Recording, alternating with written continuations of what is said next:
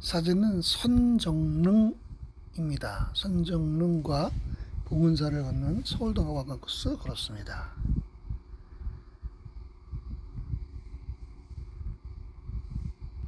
(2023년 8월 2일) 2만 472일 일일만보 1562일 선정릉 서울 도보관광 코스 걸었고요.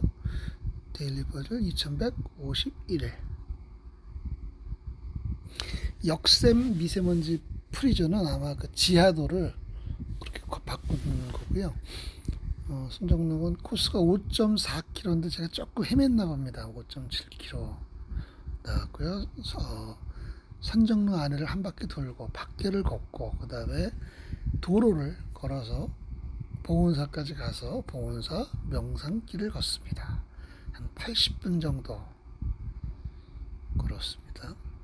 이게 이상하게 그 선정 내부 사진인데 시간 순서 관계없이 찍히는 게 꼭 두 개가 있어요.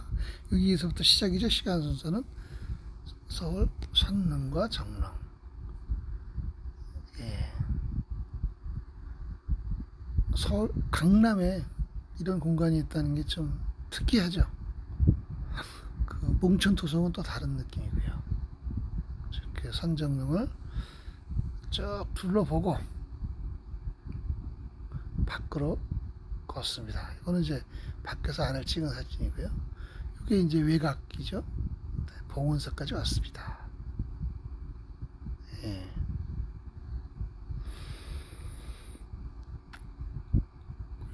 이게 봉은사 명산길입니다.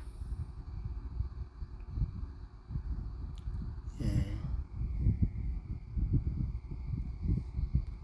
2023년 8월 1일입니다.